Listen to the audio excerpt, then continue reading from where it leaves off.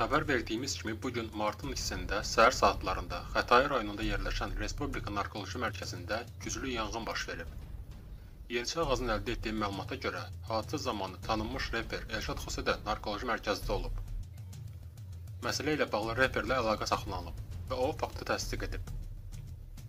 Səhər xəbəri eşidən kimi dəhşət içində hadisə yerinə qaçdım. Çünki mənə doğma olan dostum orada müalicə olunur. Xoşbəxtlikdən həmin oğlan qonşu korpusda olub, xəsarət almayıb. Gözümün önündə xeyli adam diri-diri yanaraq kül oldu. Özü son vaxtlar həmin xəstəxanada narkomanların sayı həddən artıq çox idi. Görünür insanlar özlərini realizə edə bilmədiklərindən bu yol seçiblər. Nə qədər adam öldü, Allah rəhmət eləsin. Evə gəlmişəm, hələ də o dəhşətli mənzərə gözümün önündən getmir. Gördüklərim dəhşət idi. Statın sonu.